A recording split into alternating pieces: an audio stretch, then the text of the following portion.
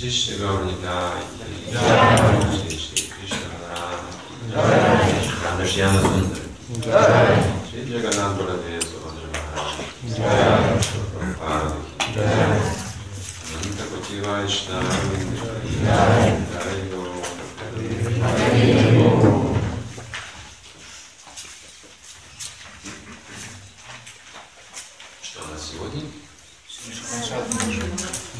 И какая мантра у нас? Седьмая. Хорошо занимаетесь. Все запоминаете.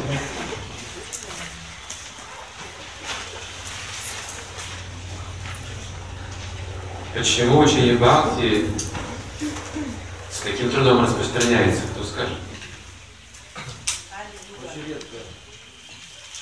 Калиюга это общий ответ, это верно. Точно ответ. Приходится жертвовать своим Все хотят наслаждаться. Сердца наполнены все. Потеряли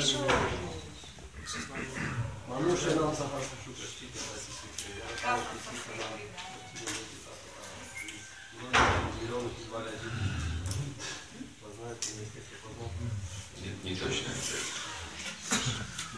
Вы говорите просто о природе вещей. Бхакти противоестественно материальному миру. Но если приходит ачарья,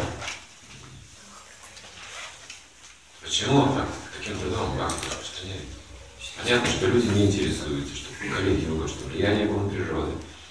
Но если приходит ачарья, почему же они, тем не менее, не могут усвоить простую науку? Грех не проблема. Бхагавадгите говорится, что грех как раз не проблема вообще. Нет вкуса у. Вкус он развит. Свобода выбора. Не знаете ответ. Может быть, потому что гордость очень много, и поэтому не могут люди принять то, что им дают. Вы описываете все вокруг. Никто не проповедует.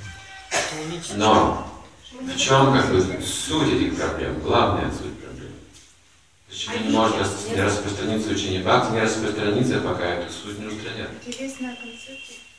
Нет, не проблема интереса концепции. Зависть. Я сам держусь за свою привязанность.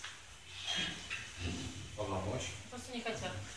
Это опять же все симптомы. Но есть внутри определенная концепция, ключевая концепция, которая поддерживает все эти вещи, которые вы сейчас говорите. Кальюгу поддерживает. Видите? Что поддерживает Авидию? Учение целое. Есть целое учение. А, вот догадался. Майявада. То есть пока Майявада не будет разбита, учение Бхакти не распространится по всему миру. Так, теперь другой вопрос. Зачем изучаем Бхакти Шастру? Чтобы разбивать мои воды. Остановить, где же стоит избавиться? Что? Корень. Это описано в Пуранах, что Господь Шива распространяет всему миру. Для Кали, чтобы ускорить деградацию людей и так быстрее исполнить их все греховные материальные желания, потому что человек, который не деградирует, не может опуститься вот такого уровня чувственных наслаждений. Ему нужно деградировать, поэтому ускоряется деградация. И Кали-юга, она начинает по-настоящему проявлять себя уже. На основе философии Майя Если вы читаете книги Прупады внимательно регулярно, то, конечно же, сразу увидите, что очень много времени Прабхупада уделяет именно вот этой философии постоянно. И сегодня в седьмой мантре мы столкнемся с этим снова, с этим моментом. Ясмин Ясмин. в этом положении. В этом положении. Сарвани Сарвани. все. Все. Бхутани Будани. живые существа. Живые существа. Атмачикана Атмачикана. духовная искра. Духовная искра. Эва Эва. только. Только. Афут А вот существует как? существует как? Виджаната Виджаната. того, кто знает. Того, кто знает. Татра, Татра, там, Там, как, Как, что, Что, мога, Мога, иллюзия, Иллюзия, как, Как, что, Что, шока, Шока, тревога, Тревога, экатвам, Экатвам, качественно единые, Качественные единые, анупашьята, Анупашьята, того, кто смотрит. Того, кто смотрит. На вещи глазами авторитетов, на вещи глазами авторитета, или тот, кто постоянно видит. Или тот, кто постоянно видит. Все таким образом. все таким образом. Повторяем стих. Тот, кто всегда смотрит Тот, кто всегда смотрит на живые существа, на живые существа, как на духовные искры, как на духовные искры, качественно равные Господу, качественно равные Господу, понимает истинную природу вещей, понимая истинную природу вещей, что может вести в заблуждение. Что может вести в заблуждение. Или потревожить такого человека. или потревожить такого человека. Здесь также эта тема продолжается. Шестой мантры. В видении Маха Бхагаваты. И Прабхупада отметил в комментарии, что Махьяматикари также может это видеть разумом.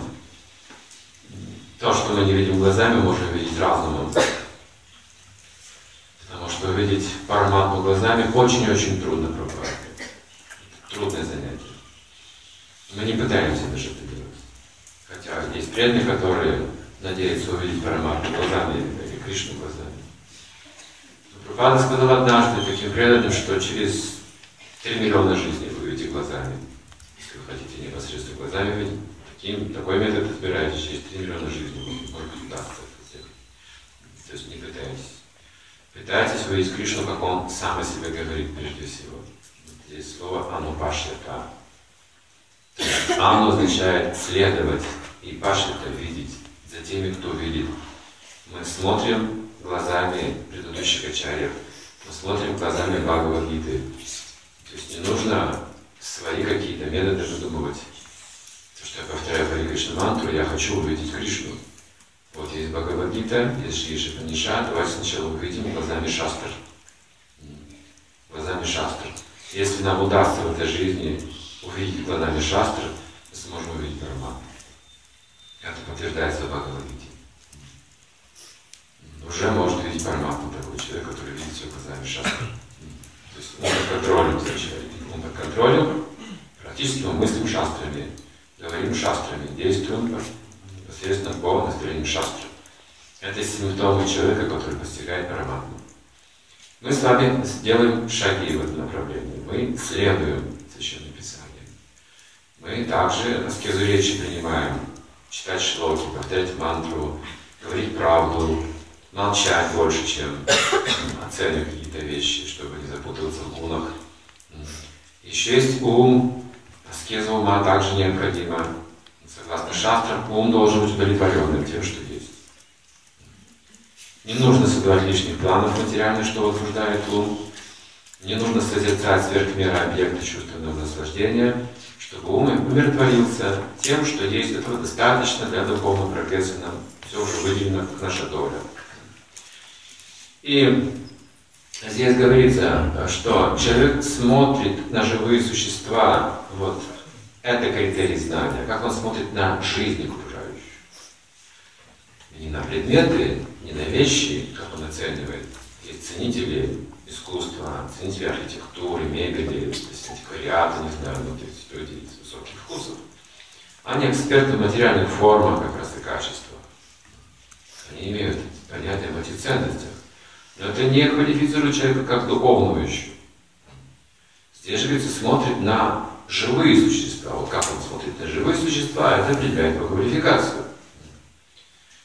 Сейчас люди развивают вот это ценности, материальные понимание.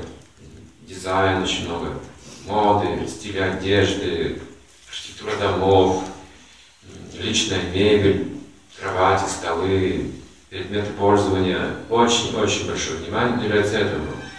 Буквально полируется. То есть весь мир, все производства работают, наверное, сейчас. Гигантские промышленные предприятия, чтобы достать металл, мельхиор, серебро, бронзу, золото и выпускать там, мрамор, камень, дерево, лучших пород имитации, пластиковые имитации.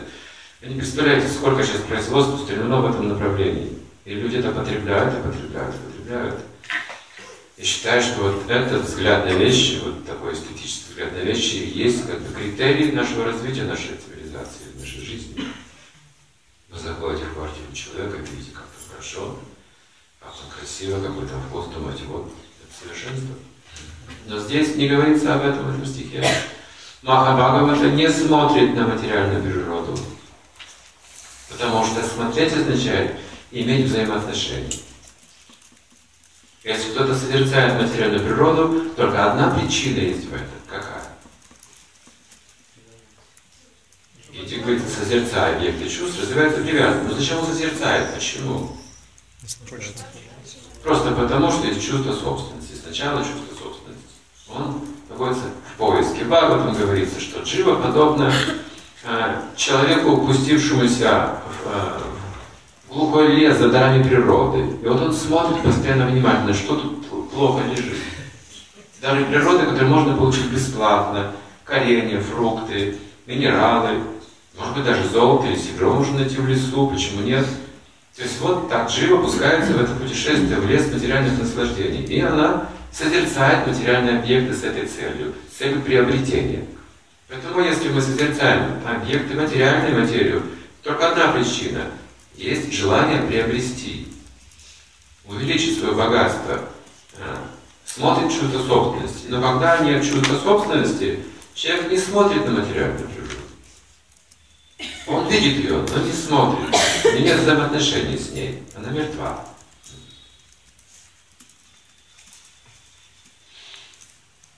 Здесь говорится, смотрит на живые существа.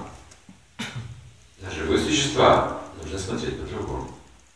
Без чувства собственности, без эгоизма, без желания эксплуатировать, без чувственного наслаждения.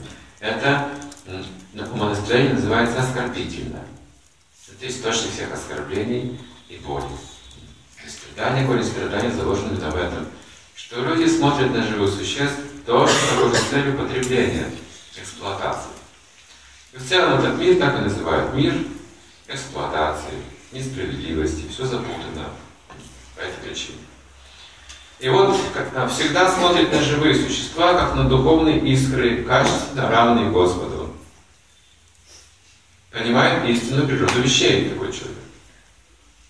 Что же может вести в заблуждение или потревожить такого человека вопрос? То есть ничто, согласно этому вопросу, не может потревожить такого человека вывести из равновесия или заблуждения. Пропада объясняет. Никто, кроме Матьяма Дикари и Утама Дикари, о которых говорилось выше, не способен правильно понять духовную природу живого существа. Две категории отличаются, которые могут видеть Анабашнити. Живые существа в качественном отношении тождественны Верховному Господу. Так же, как искры костра в качественном отношении отличны от пламени костра. Это очевидно очень ясный пример. Мы уже принимаем это как аксиому. То есть качественное тождество с Богом. Душа имеет природу божественную, такую же. Сам чит Вот это. Естественная природа и качество духа. Однако в количественном отношении искры отличны от костра, так как по количеству тепла и света, излучаемого искрами, они несравнимы с костром. Когда Маха Бхагавата, великий преданный, видит единство всего сущего, это означает, что он смотрит на все, как на энергию Верховного Господа. А поскольку между энергией и источником энергии нет разницы, это единство имеет под собой реальную основу. Несмотря на то, что с аналитической точки зрения тепло и свет отличны от огня, огонь без тепла и света не мыслим. Таким образом, рассматриваем как единое целое тепло, свет и огонь не отличны друг от друга. Значит, так из Пропада говорит о единстве, объясняет, что единство вы не можете отделить свет от огня или тепло от огня. Но когда анализируем, можем видеть различия этих энергий. Свет все-таки это не огонь. И тепло тоже не огонь. Какое-то различие есть. С аналитической точки зрения. Но все-таки это все огонь. Странная философия.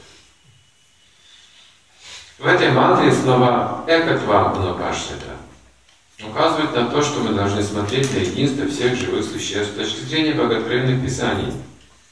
Анупашьята с точки зрения, значит, того, кто видит, следует тем, кто видит, шастру видит. Глазами шастру.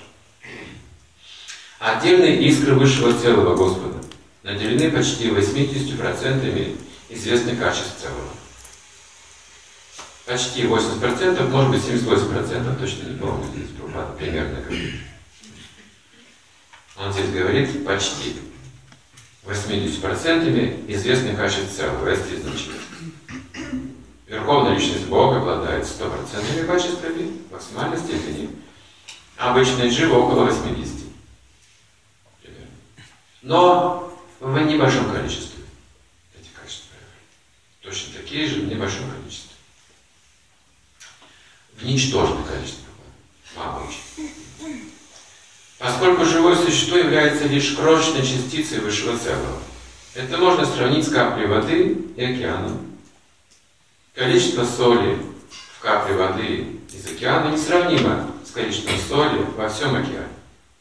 Но тем не менее соль в капле качественно по химическому составу не отличается от соли в океане. Если бы индивидуальное живое существо было равно Верховному Господу и качественно, и количественно, то оно не попало бы под влияние материальной энергии. В предыдущих мантрах уже говорилось, что никакие живые существа, даже самые могущественные полубоги не могут превзойти Верховное существо. То есть уже говорилось, так, значит, поэтому слово «экотвам» не подразумевает, что живое существо во всех отношениях равно Верховному Господу. Так, видите, Крупада, что объясняет здесь? Это единственное различие. Основополагающий момент. Теория Майвады, она более-менее умозрительна. Она не, не практична, не подтверждается на практике никогда, не работает. Она именно приводит к деградации нашего. Если говорить с практической стороны, Именно это является как бы основой Кали философии. При этом она в точности повторяет Веданту, то есть самая возвышенная философия. То есть, что они говорят в Майваде? Они говорят разные установки, утверждают, но как бы суть, если вкратце говорить, какое утверждение Майвади, что Браман, Браман – это знание без знающего. Знающего нет. Есть просто знание. Это правда. То есть нет тот, кто познает того, кто познает. Есть просто знание. Это безличная концепция. Тот, кто познает, это уже личность. Но они отвергают личность. Они говорят, есть только знание. Роман, безграничный, знание. Познающего не существует. Но Смотрите, как нужно опровергнуть это утверждение. Пьяна – это знание. Невежество – это агьяна. Скажите, может ли невежество существовать в знании? Нет. А где оно существует?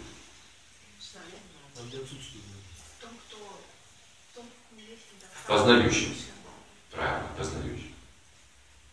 Вы говорите, вот гьяна, а вот агьяна, это отдельные категории, не смешивающиеся друг с другом. И если спросить, где же находится невежество? В правании? В знании? Не может быть. В знании не может быть невежества. Это знание, чистое знание, трансцендентное знание. Тогда где же находится? В познающем, познающий. Это один из моментов логики. То есть вы видите, что философия а, Майявады умозрительно абсолютно, даже на уровне логики она не работает. Но все же она очень влиятельна. Кто знает, почему она обладает таким мощным влиянием? Что даже препятствует бхакти, преданному служению.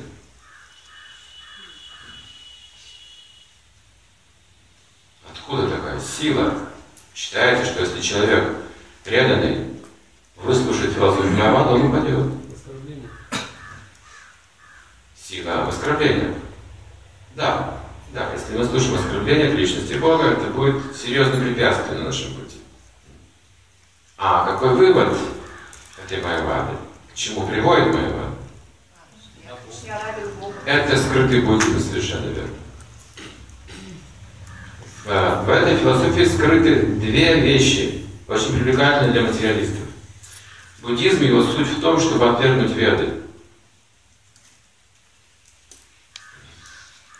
Как знание иллюзорное, непрактичное, которое противоречит самим же себе физическим установкам а, Ахимсе.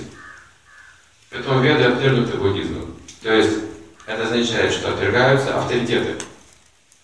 Видите, что в Майяваде нет принципа вечного авторитета. Авторитет временный, пока он вам необходим. Теперь вот этот момент мысли уловили? Необходимый авторитет на какое-то выгодное время. Так? Как отражается философский принцип в жизни современной? Ну. Семейные браки. И Меняется. Это повсюду видите такие, такое отношение сейчас? Да. Что люди принимают авторитет только потому, что это выгодно. Да? А когда не выгодно, отвергают авторитет. Сейчас, видите, философия распространилась. Вот как она работает на практике. Видим, что в жизни это разрушительная философия. Очень оскорбительная философия, неприменимая ни к какой индивидуальности личности вообще.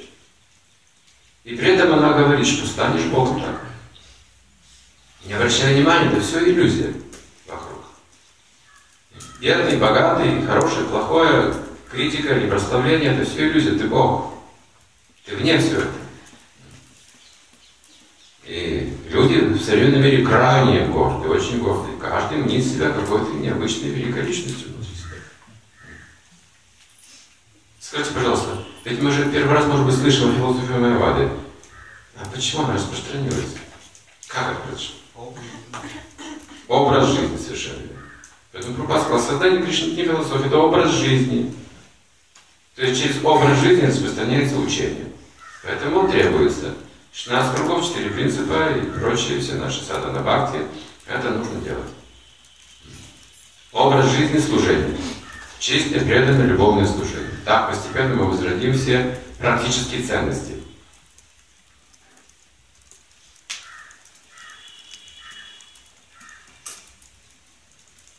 Значит, Браман, главная концепция, которая разрушает философию Майявады, главный момент, Браман никогда не может попасть под влияние невежества. В их понимании а, Ишвара или личность Джива – это отражение Брамана в невежестве. То есть он как бы попадает во власть невежества отражает себя. Становится вот этой обусловленной душой. Подвергается вот этой иллюзии. На самом деле он Бог, он Браман. Каждый Бог.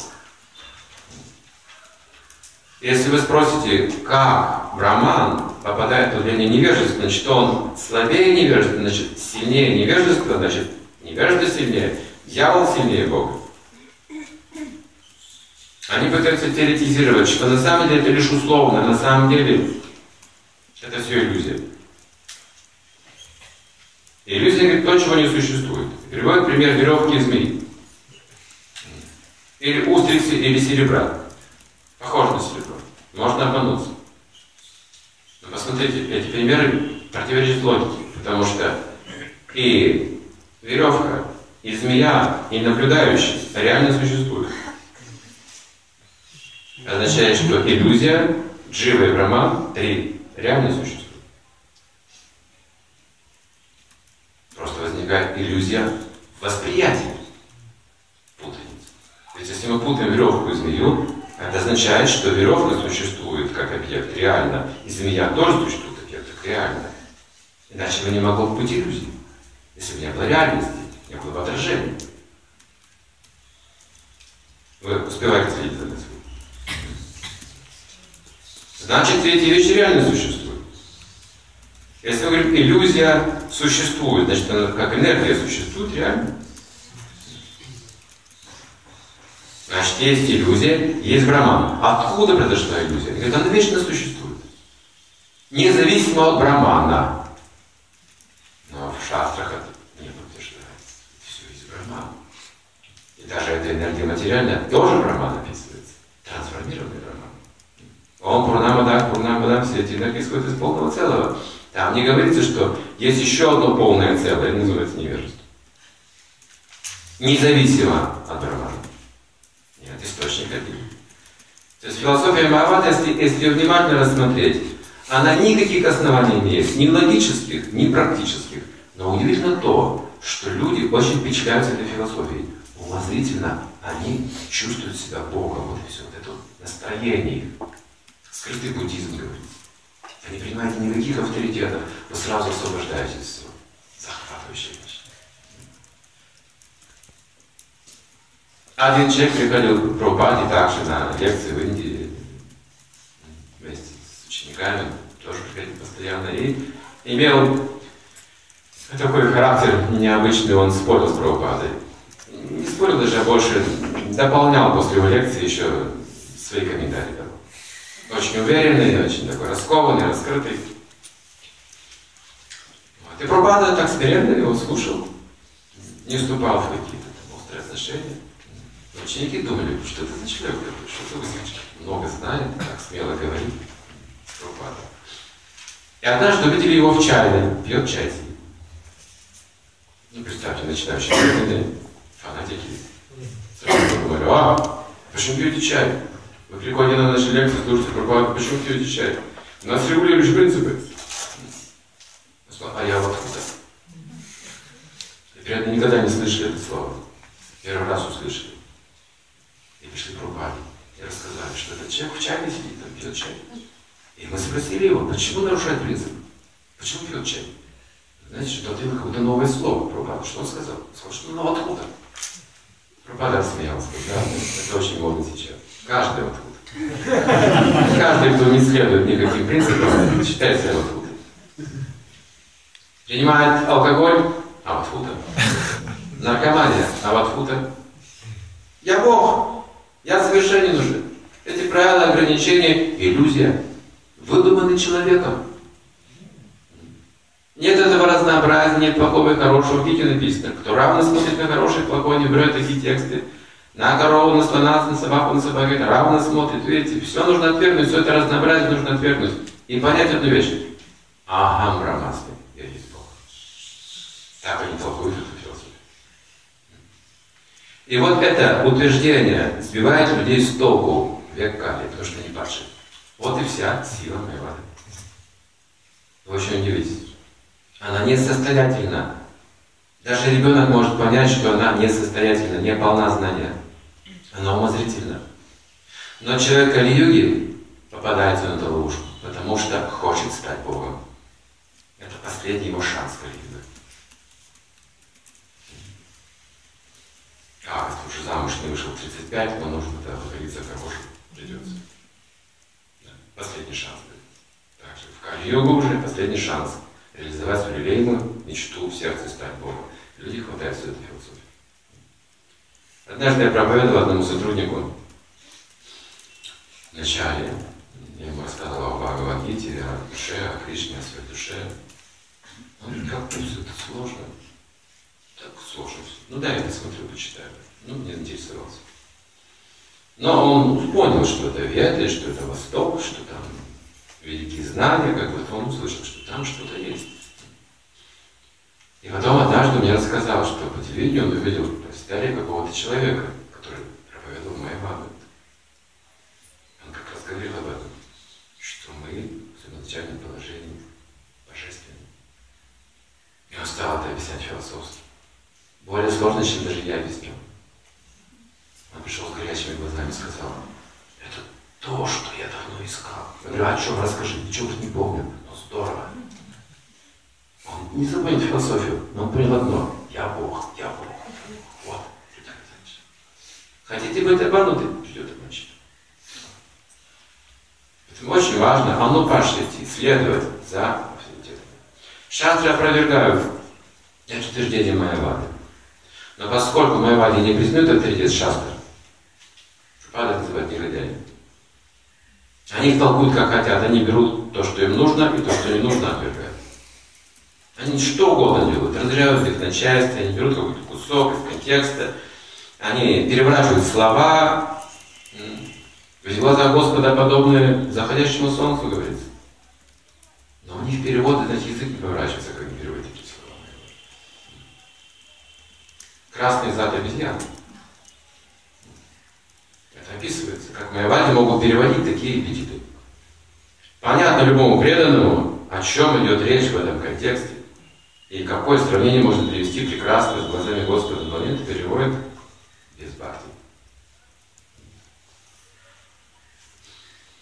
А, Разбить философию Майвады на практике не представляется возможным. То есть на теоретически не представляется возможным. Практически очень легко.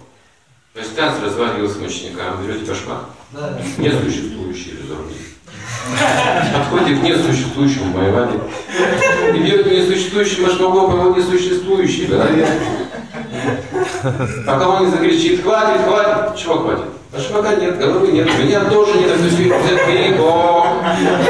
Давай, проповедуй свою философию. И интересно, что ученики так и делали в Василансарстве. Ужас наводили на них Майавади, все их боялись. Они дрались с башмаками. Даже пришли однажды к Василансарстве и сказали, что ваши ученики творят такое. Беззаконие вообще. Мы собрались на диспут философский, культурно. Дерутся. Представьте, уважаемого человека башмаком по голове при всех. Василансарстве. Они правильно. Никакого спуска не давал, потому что пока есть моя вада, у меня распространяется бхакти. Все остальное мелочи страницы. Все остальное легко. Но майя вада – это серьезная проблема для ума. Что люди понимают науку только на уровне ума сейчас. А на практике живут как животные. Есть они не способны оценить вещи, какие есть на самом деле, что они все превратились в животных давно уже. Но мыслят, как будто не боги. Поэтому башмак берется и по божеской голове несуществующим башмаком, и до него доходит, что башмак существует, голова существует. Не работает на практике. Это было в Уфе в 1000, 1000 нет, был 92 год примерно. Полный зал народу, публичная программа. Зима. У меня были такие десантские ботинки, подаренные отцом. Знаешь, что десантские ботинки? Ого-го-го, убить слона. Они такие крепкие, когда вот можно прыгать с парашютом, они там, знаете, как вот эти вот, типа протезов берут так много, чтобы вы не подвернулись стопу, там, и чтобы вы же десантник, этим башмаком можете голову проломить. То есть с носом нет вообще никаких. Отец мне подарил, помню, когда-то эти башмаки десантские. И вот зимой их носил. Я вышел на сцену, не в этих башмаках, их снял, поставил рядом. И сел на подстилку и дал лекцию. О душе, о преданном служении, повторении Хари Кришнаманты, все просто, о карме, о гунах, что-то рассказал. Люди слушают. Вдруг вопиющий голос в зале, в конце, просто вопиющий женский голос. Я Бог! Я еще не афин, представьте себе. Я думаю, что делать? Я вспоминаю, то есть там Сарасвати, что он делал Бил башмаком. Ну что, я должен следовать. То есть неофиты будут очень решительны. Я как раз тогда был таким неофитом, очень решительным. Я сказал, если вы Бог, а в зал сидит слушатель, ну как что-то с этим делать? Люди же сразу, знаете, напряглись, слушают. Такая вещь интересная. Я говорю этой женщине, она в середине зала сидит. Я говорю, если вы Бог, то вот сейчас я возьму этот ботинок, подойду к вам, буду бить башмаком по вашей голове. Если вы Бог, остановите меня. Думаю, конечно, она сейчас сразу же откажется замолчит. Она согласилась. Тут я вообще, что же делать? Придется это делать. Люди смотрят, столько свидетелей, тут вызов. Я бросила, она бросила. Надо доказывать до конца уже детям. Я взял этот ботинок, сам спрыгнул со сцены, я был молодым, легко это сделал, и решительно пошел прям, зал замер. Тишина была мертвая, вот это лекция вообще. И все остальное делается автоматически, как будто без моего участия. Я просто наблюдал, как моя рука бьет ей по голове. У меня тут, тут какой-то ступор случился, я не мог остановиться. Меня заклинило, понимаете, вот эта ситуация меня тоже повлияла, что я не мог. Я, она сидела и принимала удары, и ударила меня в живот. Алло! Поединок, нормально. Я понял, что нужно остановиться же. Я ударил, хватился уже. Снова залез на сцену и сказал, вы не бог.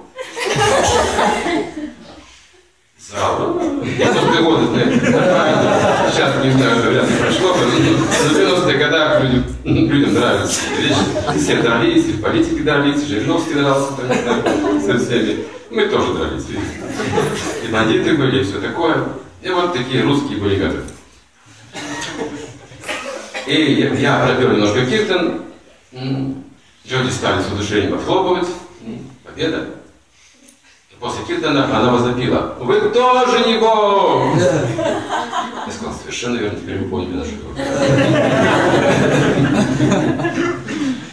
Больше такого не делаю. То есть нужно, конечно, понимать место, время, обстоятельства.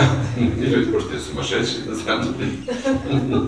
И разные больные просто, если всех бить по голове. Стали люди, знаете, башмаков не хватит. Такая история была. Так я применил это наставление в эти танцы.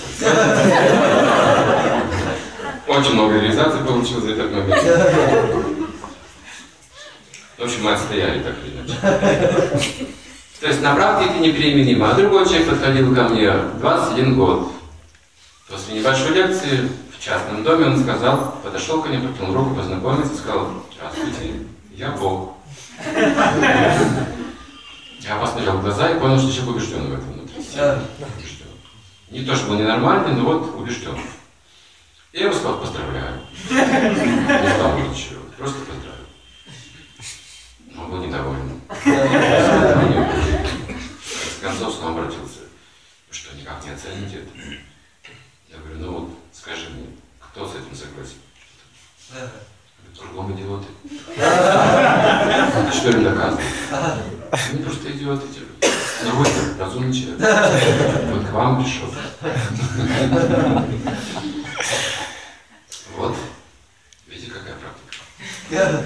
Если мы думаем, что мы Бог, никто с этим не согласится. Даже Бог с этим не согласится. Даже полубоги с этим согласятся. Даже собака с этим согласится. Только я с этим соглашусь. Это моя ладно. А мне плевать на всех остальных. Я Бог. Удивительная философия. Как она хватает этот, этот вожделеющий ум, смотрите, в эту ловушку. И такая жажда, оказывается, что быть Богом, такая жажда у живого существа. Любой ценой доминировать. А если не получается, уничтожить все вокруг. Демоны. Вот эта демоническая философия. Господь Шива говорит, я распространяю демоническую философию, кстати. Потому что я покровительствую этим демонам. И когда его прославляют как Вайшнава, Господь Шива говорит, какой же я Вайшнав? Посмотрите, именно я интересовался, как работают заводы, там был сильный очень завод, в то время дальневосточный гигант, секретный завод. И там все производилось, мои друзья рассказывали, как работает этот завод. Что ты делаешь? Я делаю вот, например, мебель. Но я делаю только часть мебели, скажем, спинку задними ножками. В другом цеху люди делают передние ножки. В третьем цеху другую деталь, а другая, в конце концов, собирают. То есть никакого творческого начала не существует, есть просто инструкции. Это было во всех архитектурных заведениях, на всех заводах водилось. То есть безличная система управляет, людей собирают, и они просто тупо выполняют эту работу. Без наслаждения. Другая работа была, человек проверял м, гарантии, гарантии зонтика. Мы спрашивали, а как гарантию? На год дается гарантия. Если завод выпускает зонты, то на год дается гарантия. И как вы проверяете, что он год будет работать? По инструкции 50 раз человек проверяющий должен открыть-закрыть зонтик, там на предприятии 50 раз. И потом поставить печать, что зонтик гарантирует.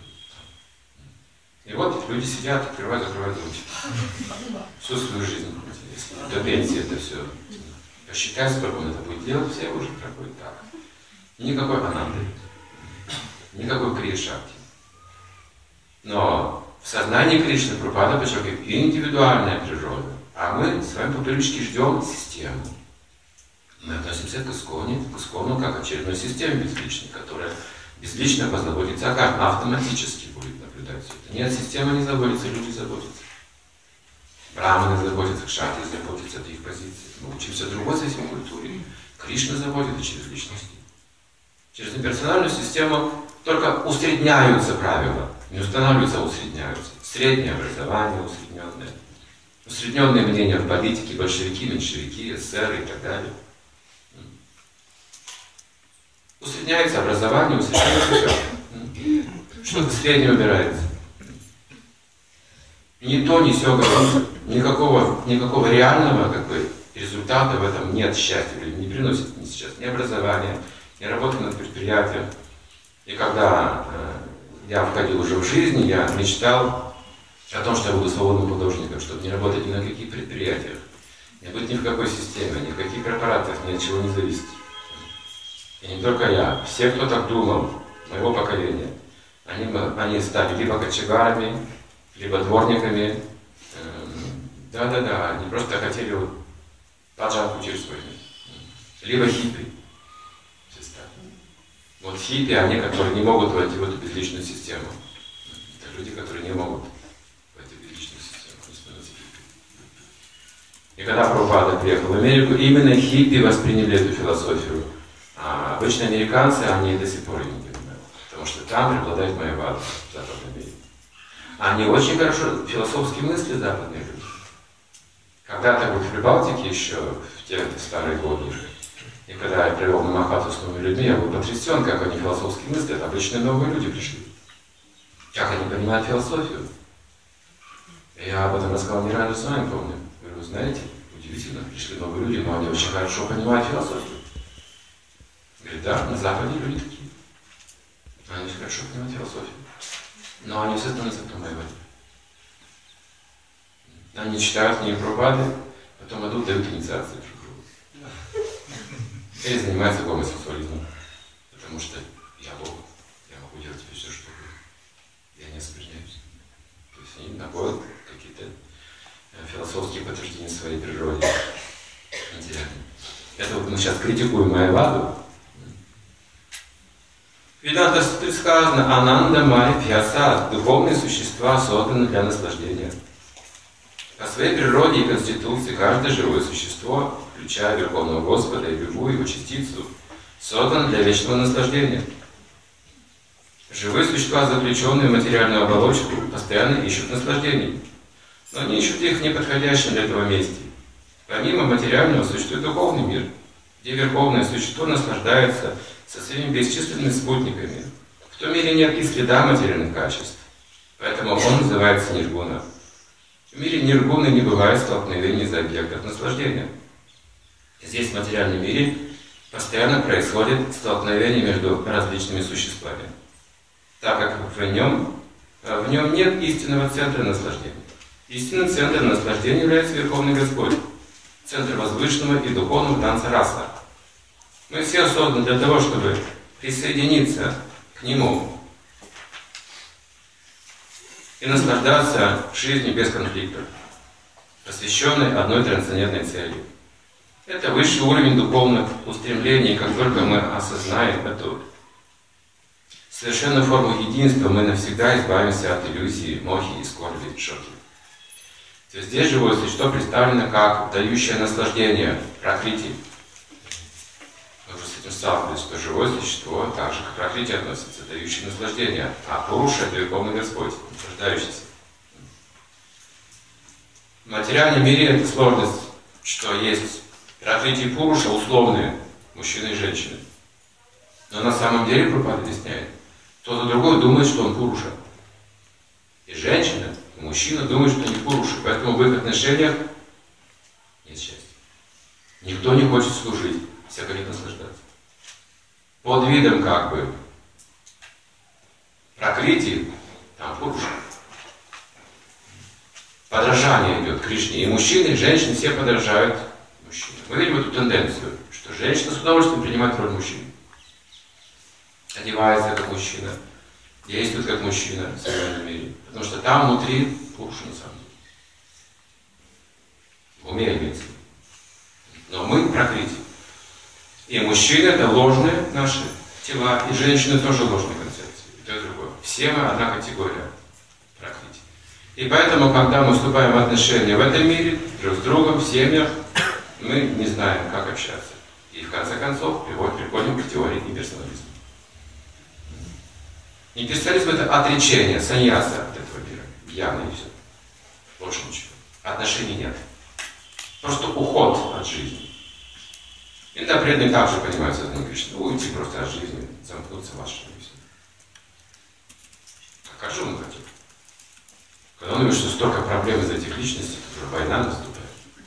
Он хотел просто отойти от этого, устраниться из жизни. Но Кришна сказал, нет, сражайся, действуй. В сознании Кришны. Вот оно. То есть мы должны практически изменить этот мир, не в мыслях своих. Нельзя ненавидеть этот мир. Это не духовная позиция. Или чувствовать к нему неприязнь. Это не духовная позиция. Здесь нужно проложить путь, чтобы следующие потомки наши прошли этим путем к Богу. Здесь нужно создать необходимые условия, великолепные условия для духовной жизни. Это наша работа. Но нужно сражаться, говорит. Нужно действовать. Если мы будем бездействовать устраняться, просто изучая шастры, повторяя мантру и живя для своих каких-то целей духовных, что будет с людьми этого мира? Если мы не будем распространять это знание, а это сражение, никто так добровольно не примет это все так легко. Тогда они верят, что будет распространяться. И оно хорошо организовано. Кальюга будет развиваться. Но Господь Читание предсказал, что воспевать будут повсюду. И Кали-юга отступит на 10 тысяч лет. Значит, кто-то будет сражаться. Это уже предрешено. Как это Арджуна смотрели. Все уже погибли, Арджуна. Ты видишь вселенскую форму. Это предрешено. Тебе гарантирована победа. Возьми оружие, вступи в сражение. Тебе нужно просто сражаться, а все остальное зависит от тебя. И также немножко о, философии, я вкратце скажу об этом. Не буду подробно излагать философию. Кое-какие термины выписал, чтобы вы имели представление об этих философиях. Дело касается Майавады. Есть несколько взглядов философских. Адвайта Вада.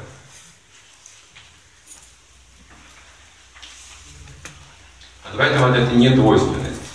Два это двойственность, а два это не двойственность. Вада учение. Адвайта Вада это учение о недвойственности, о единстве. Единстве. К этому также относится Вишудха. Вишудха. Ад- Адвайта.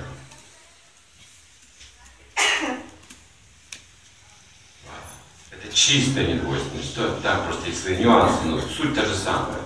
Все, и персональная концепция. В Майваде также Адвайта философия использует. Шанкарачарья. Двайта, адвайта существует взгляд. Двайта, адвайта. Вада. Это двойственность и недвойственность одновременно. Можно наблюдать, что есть различия, есть единство.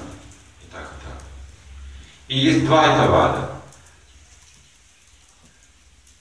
Два это учение, дуализм называется, о различиях. Интересно, что это два это ваду проповедовал Мадавачарья. Он подчеркивает только различие между душой и Богом. Потому что он боролся с манизмом. Он доказывал, что есть только различия. Нет никакого единства и сходства. Господь превыше всего, он говорил. Никто не равен, никто не может быть таким же, как он. Не нужно даже сравнивать. И когда его спрашивали, э, он разбивал вот это вот учение о единстве, о слиянии с Богом, то люди приходили и спрашивали объясни нам на каком-то примере, мы простые люди, мы не можем понять, разве нет слияния? Разве Шанкара не прав был? Если мы сливаем воду, она же сливается. Вот капля с океаном, воздух в горшке, зажигается горшок, воздух сливается с общим воздухом.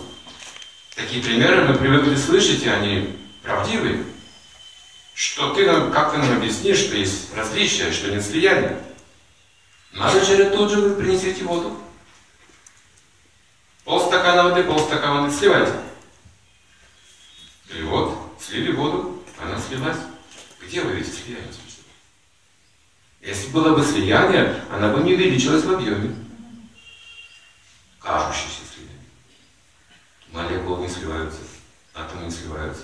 Однородность вы путаете разбивал эти вещи. Потому что душа и сверхдуша только различны. То есть принципиально стоял на дуализме. Что есть различие. Душа, две души он говорит. Что путали как с одним целым. Душа и сверхдуша отождествлялась. Что очень ну, они близко же расположены. Но Амадовачарья разделил эти понятия. Продолжил дорогу Господу читания таким образом. Потому что Господь говорил, непостижимое единство и различие одновременно. Все закончено. Чинтя педа педа татва. То, что Прабхупада объясняет сейчас в комментарии, это чинтя педа педа татва. Эта философия непобедима. Нам только осталось ее распространять, применять. Ну, для этого, конечно, нужно изучить ее хорошо. Это я вкратце говорю, не углубляюсь в эти темы. Я думаю, что вы это все будете проходить более подробно, с началиями, кто какую философию исповедовал. Адвайта это же Панчитатва. Адвайта не двойственный. Экспансия Махавишну, Садашивы. И однажды мама Шачи плохо о нем. Адвайта также означает цельный, искренний, честный. Ну, тот, кто думает и говорит одно, Адвайта не двойственный. Не лицемерный. Также Адвайта. Но когда Господь читание принял саньясу, мама Шачи не удержалась от материнских чувств. Она сказала, это из-за этого это его пастырь Шиман Бхагаватам. Сначала он старшего сына Вишору увел в саньясу, а теперь я внимание потерял. А мне он улыбается, когда при встрече всегда. Обходил вокруг меня с песнями, поклонами, почтениями всевозможными, проставляет меня в лицо. А за спиной видите, что творит? Детей у меня собирает. Но он не Адвайта, он Двайта. Двойственный, лицемер он. Она сказала от такого горя, что потеряла внимание. Как мать. И когда Господь Читание раздавал прему, всем раздал прему. Его спросили, а почему ты не зовешь свою мать Шачина? Почему ты ей прему не даешь? А мать Шачина никогда не получит прему. Все просто помертвели пришли. Мать Шачина? А мы-то кто такие вообще? Мы тут получаем прему, а Шачина не получит прему. За что же такое? Что такое сделал? Все стали разговаривать, перепугались, господи. Она оскорбила Двайту. Она назвала его Двайтой. Она совершила оскорбление чистого преданного, как она получит прему? Это невозможно. Все, он так сказал. Преданные знали, что нужно делать. Ради мамы Шаши не очень заботились обо всех. Они очень, они же личности все. Они побежали к одной начале немедленно. Вместе с мамой Шаши и сказали, вот такое дело, прему не дает Господь читания своей матери. Потому что когда-то она тебе сказала, несла тебе оскорбление. Кто? Мать Шачи меня оскорбила. О чем вы говорите? Вы что, с ума сошли? Да она не может никаких совершить оскорблений. Это же мать Верховного Господа. Вы понимаете, о чем вы говорите? Она хочет тебе прощения просить. Никогда я в ад пойду. Такая личность будет у меня, мать Вселенная будет у меня просить прощения. Да вы знаете, кто такая мать Шачи, он стал так прославлять и потерял сознание в экстазе. Да, такая према, такая пха, он просто упал без сознания и стоп, понимаете? Вот так вот, приоткрытый, лежа когда стоп открыт. И вот тут-то рядом на бутыре мамушачи, касается стоп. Такая вилла была. И мать Шачи сказала стоп, и сразу получил. Другой раз Адвайта думал, этот Господь Читания Махапрабху, я столько молился, что пришел Верховный Господь. И сам распространял любовь к Богу. Вот он пришел. Я не могу получить никакой милости. А он меня почитает как старшего. Я не могу поклоняться ему. Вот он кого-то наказывает, кого-то поощряет, а ко мне он с почтением старший отвечает. Нет, так я не получу никакой милости. Нужно что-то делать. Он придумал, что нужно делать. Стал проповедовать в Суфи Майваре. В узком кругу. Стал говорить, что, что такое на самом деле происходит. Что мы все Бог. Ну, шансов не поверили. Ну, это что? Ладно, он такое говорит. И сказали Господу читали об этом. Ты знаешь, что тут какое-то несчастье. Давай ты, вот ты же не знаешь, язык не поворачивается. Давай ты, проповедуй Майваду. Он разрушает все. Все, что было до этого. А давай это сказал почитаем. Но я с ним разберусь. И он взял с собой Нитянанду, все вишну татвы, Нитянанда, Господь читания, Адвайта, все вишну татвы. При закрытых читания прямо спросил, мы все боги? Да. И стал бить его. Там была Сита, жена военачальника. И он бил его ногами, кулаками и даже поднял и бросил на пол плашмя. И Адвайта счастливо улыбался. Вот милость Господа. Теперь все поймут, кто на самом деле Верховный Господь. А кто почитает меня, поклоняется, тут же мне проводит вообще. Да, я вначале добился, что благосклонности Господа свой. Да, Шуточная да. история. И Господь читание следил, что преданные принимали духовные авторитеты. Духовные авторитеты, отметить, это особая категория. Это те наставления и те духовные личности, которые вы пропускаете непосредственно в сердце. Это шикша. Это нужно принимать. Серьезно. Нельзя в этом сомневаться долгое время. Можно посомневаться, чтобы изучить. Но когда изучили, не должно быть никаких сомнений. Собственно, в результате, скажем, хорошего обучения, бхакти шастрам, не должно остаться никаких сомнений в преданном служении проповеди, в преданном служении. И даже тени. Это необходимо принимать как высший авторитет слова Кришны, слова Ачарьи, пойти по стопам. То есть в этом как бы смысл учения. Есть авторитеты административные, там другое. Вы можете не пропускать их в сердце, не обязательно. Это разум. С позиции организации, вы понимаете, это необходимо. Может быть, он мне не нравится. Не всегда нравится, что он делает и как он это делает. Но это необходимо. Это нормально. Это можно принять смиренно. Итак, вопрос нашего сердца. Если же кто-то принимает административный авторитет в сердце, это ошибка. Это в страсти. То есть вы полное доверие оказываете этому административному авторитету. И может быть травма. Вот тут различать, тут нужно иметь разум. То есть не нужно быть таким вот наивным человеком. В Исконе всякое бывает. Бывает, что храм может сказать, ну, все, иди домой. Сейчас заболел, что мы тут больницу будем устраивать, иди к своим родственникам или храм. И что человек будет думать?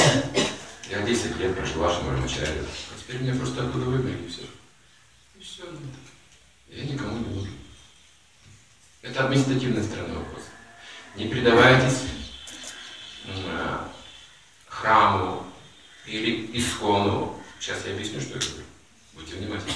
Предавайтесь Шри Прабхупаде, предавайтесь Гуру Парампаре, предавайтесь Кришне. Вот эти вещи, они, с одной стороны, тождественны, с другой стороны, нужно различать. Очень теперь Ведата. Они едины, они отличны.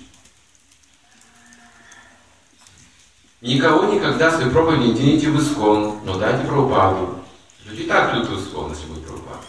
Например, если я скажу, искон это духовная организация. Приходите к нам. Они придут и увидят недостатки. Какая она духовная организация? Но если скажу Прабхупада чисто преданные, они придут в искон и будут недостатки, потому что Прабхупада чисто преданный. Его книги. Они останутся в исконе. Чтобы остаться в Исконе, нам нужна идеальная организация, нам нужна связь с Ачарьей. Потому что идеальная организация у нас еще долго не будет из-за Кали-юги, из-за Майвада окружающей, из-за наших недостатков. Мы много ошибок совершаем. Но Кришна говорит, если ты предаешь мне, я тебя защищу от всех ошибок, от всех грехов. Ахам твам сарапапепи. Вот кому нужно предаться. Кришне нужно, святому предаться нужно. Есть две крайности. Либо полностью предаются материальным авторитетам, либо полностью отвергают их. Потом. Это страсть. Страсть все, что мы принимаем, потом отвергаем. Типов. Это страсть означает друг, враг. Любовь, ненависть. Плохо, хорошо. Это двойственность. Поэтому нужно видеть единство. Искон, Прабхупада, GBC – это единство. Но можно видеть различия.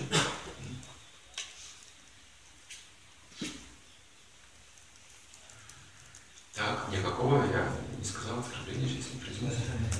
Как вы чувствуете? Все окей.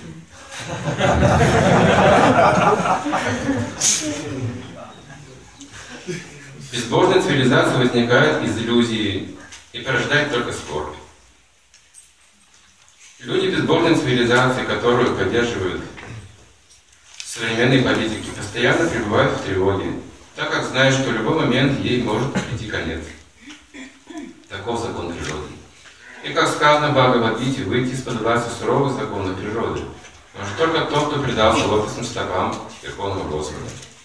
Таким образом, если мы хотим избавиться от всех заблуждений и тревог, перевести к общему знаменателю все разнообразные интересы, должны поставить Бога в центр всей нашей деятельности. Вот видите, какое решение Прабхупады. Плоды наших действий должны э, использоваться только для служения Господу, ни для какой иной цели. Потому что только служа интересам Господа, можем ощутить интерес Атмафута, в котором говорится о котором говорится в этой мантре. Интерес Атманфута, интерес Браманфута, упоминаемый в Бхагавадгите, одно и то же. Верховный Атма, душа, это сам Господь. А Атма – это живое существо. Верховная Атма или Параматма – одна поддерживает существование всех бесконечно малых индивидуальных существ. Потому что Верховный Господь хочет получить удовольствие от их любви. Отец распространяет себя в форме своих детей и заботится о них, чтобы получать удовольствие. Если дети послушны воле отца, дела в семье идут гладко. Интересы всех их членов совпадают, и в семье создается благоприятная атмосфера. По воле Господа такая атмосфера царит в абсолютной семье Парабрамана, Верховного Духа. Почему такая гармония в семье Бога? Кто скажет? И почему в обычной материальной семье не так все просто? Или в обществе? Тут написано, что совпадают интересы. Вот, э, в семье идут дела гладко, интересы всех членов совпадают. А нет, значит, нет. Ну вот смотрите, совпадают интересы, но это означает, что все подчинены воле Господа. Почему это хорошо?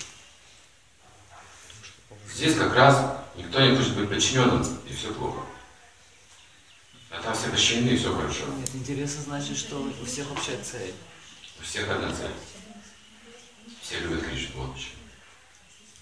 Это любовь.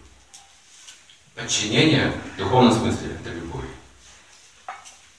В материальном смысле это другое, это сила. Это некое давление. А в духовном смысле подчинения – любовь. Он подчиняется только любви. Душа. Свет душа и душа тоже. В материальном смысле, нет любви, мы используем другие формы подчинения. И вот в этом проблема. Поэтому отцы и дети, дети вырастают, говорят, все, хватит, меня учить, достаточно. Мне больше это не приносит счастья, тебе не приносило раньше. Слишком много мне требовали, хотели то, чего мне не нужно было. Потому что родители не учитывали их природу свободного выбора, а Кришна не таков. Он любит природу живого существа. И также по аналогии, если родители и дети конфликтуют, они говорят, так же и Бог, и дживы. Ну что, у них тоже есть своя свобода независимость. Зачем Бог требует поклоняться Ему, подчиняться Ему, служить Ему? Мы как раз видим, что от этого хотим освободиться мире. Но у них нет любви, поэтому не могут понять, почему.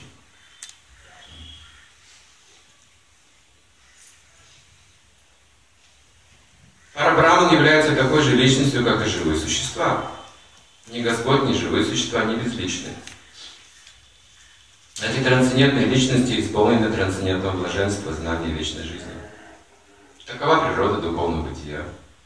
И когда человек полностью осознает эту трансцендентную природу, он сразу же предается лотос стопам Верховного Существа Шри Кришны. Но такие махатмы, великие души встречаются очень редко. Потому что подобное трансцендентное видение можно обрести только после многих жизней. Однако для того, кто однажды обрел его, больше не существует ни иллюзий, ни скорби, ни рождения, ни смерти, ни других мук материального существования, выпадают на нашу долю в этой жизни. В этом заключается смысл данной мантры Шри Шапанишат. То есть редко достижение здесь описывается, редко кому удается, это нужно много жизненной практики. Но мы с вами можем разделять эти взгляды Махабхараты, слушать, воспринимать их сердцем. И мы будем также действовать совершенно. В следовании. То есть все, что от нас требуется, это главный момент, это научиться следовать наставлениям Шилпрапады, духовных учителей. Мы будем в порядке. И знания нужно просто для того, чтобы лучше следовать. Если говорить честно и открыто, мы сейчас тут духовная тема, возвышенная тема в этих Ишапанишат. Но если честнее говорить, практичнее еще сказать о нашем положении, то нам сейчас больше не хватает не духовного знания, а именно благости. Сатва. Просто доброты человечества. Когда общество развивается, и там есть семьи, женщины, дети появляются, уже социум появляется. Здесь нужно больше вкладывать сатва гуны.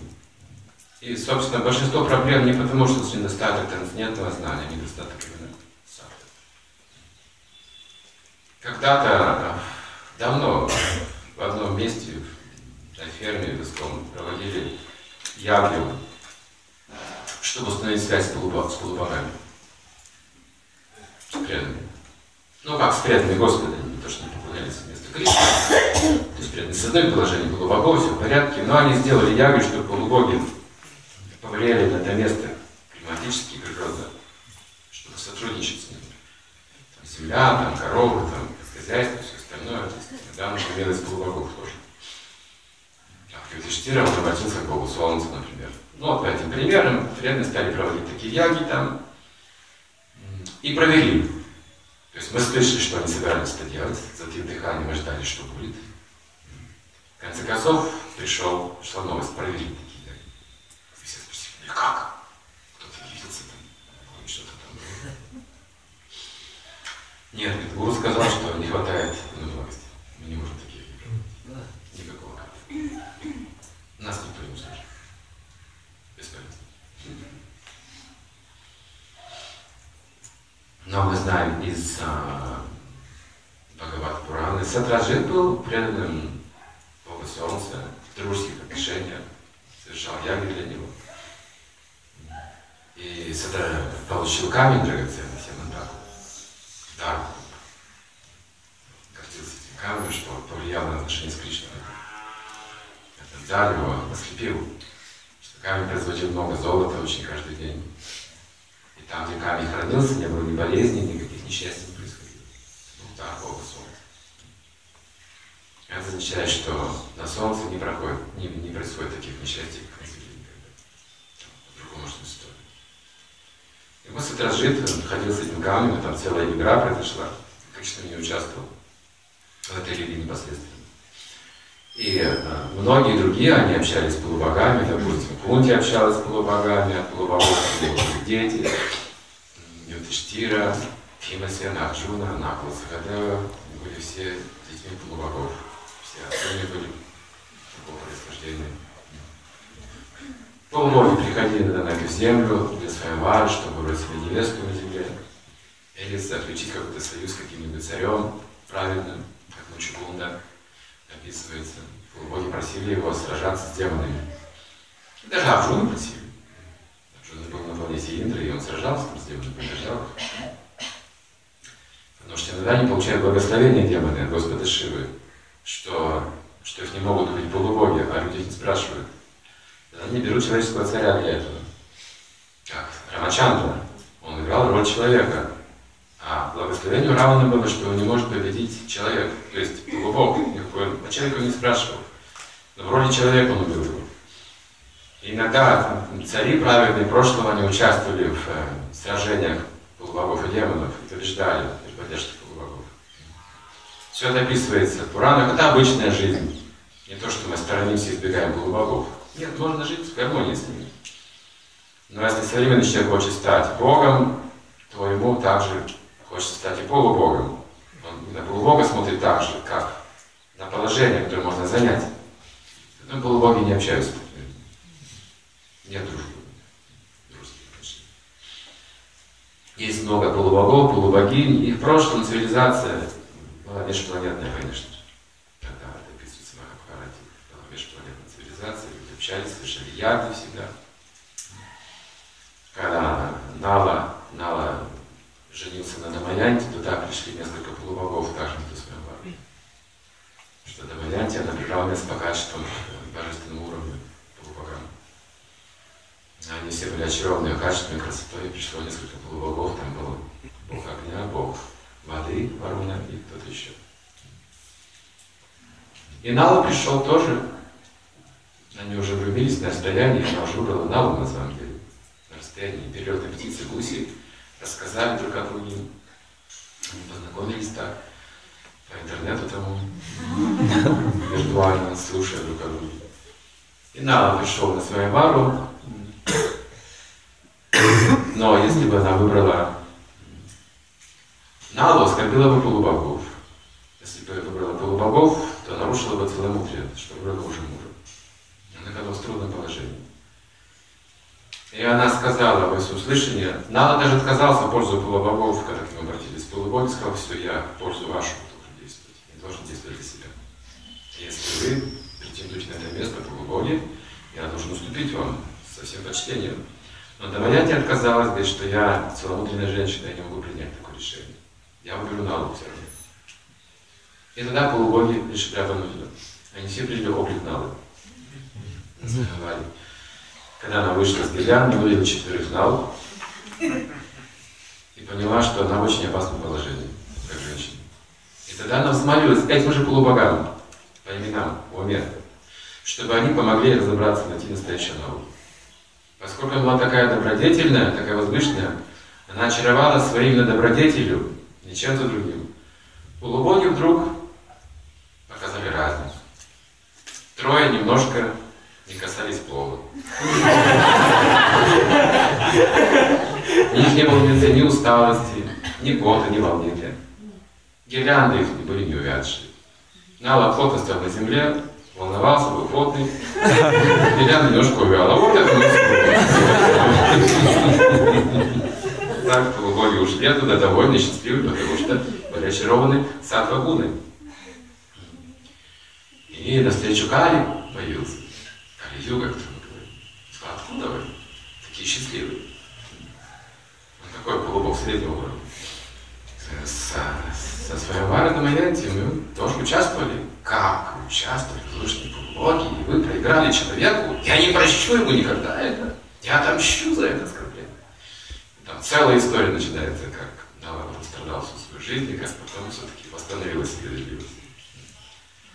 Также есть история Харисчандры, царя, которого испытывал еще Митра очень сурово, его добродетель. Через какие испытания прошел этот царь, вплоть до Чандала опустился. Это были испытания. И до конца выдержал все. И так он возвысился еще выше после этого. Это вот все примеры сатва Есть был царь также Рантидев, который постился долгое время, помните, и должен был распаститься уже, он был истощен до предела. И в это время полубоги стали испытывать его. И они приходили в разных обликах к нему за подаянием. Он давал ему всю пищу с радостью, с радостью, в сатвагуне, никак иначе. Не можете просто вынужденно отдать, потом сидеть, сожалеть, боже мой, это не страшно легкое. Спрятать, подать, закройте двери, чтобы пришел, дайте мне поесть, наконец. Рождения этого не было, это сатва была, полная сатва, чистая сатва. С радостью жертвовал все. И, и это были полубоги, которые просто проверили его. То есть так отношения устанавливаются. Если достаточно сатвы, у нас есть достаточно также и материальной поддержки. Сейчас как раз мы испытываем в этом трудность. У нас недостаточно сада, недостаточно материальной поддержки. В мире и в обществе тоже. Но если будет больше сатвы, у нас больше мира, больше заботы, если мы позаботимся о женщинах, детях, стариках, коровах и браманах, если мы возьмем девиз нашего общества, мы установим сатву. И трансцендентное знание просто подтвердит, что это правильный путь, оно будет ярче проявляться на. Так же, как есть вот драгоценность золота загрязненная, а есть чистая. Есть с примесью, а есть чистая. Так вот, в сатве, и шутка сатвы, сначала в сатве мы уже видим ценность преданного служения очень хорошо, ближе. Нам необходимо подняться как бы луну благости помощи знания и практики. Не забывайте об этом. Напрямую Господу очень трудно. Из низших гун невозможно вообще. Нам нужно правильную стратегию своей жизни выработать. Эти, эти стихи Шри Шапанишат мы читать с вами всю жизнь, читать постоянно, и постоянно вы открывать там новые-новые глубины по мере очищения сердца. Вплоть до трансцендентного уровня. Эта книга, она вот этого уровня мост мир. Достаточно понять этот материал, чтобы вернуться к Богу. Итак, у нас закончилось время презентации. Мы презентацию придем завтра в Бхагавадгите. У нас много проповедников, которые еще не выступали. Аудитория ждет. Ну, мы. Итак, сегодняшнюю тему посвятили имперсонализму, Майявади. В основном мы говорили об этих вещах группа левый акцент, это эко от вам, слово эко от вам, оно пошли 9 дней, это основной, из этой мантры. Как ключевой момент, который нужно понять. И мы сделали тоже акцент на этом. Спасибо большое. Шилапова Павловна. Да.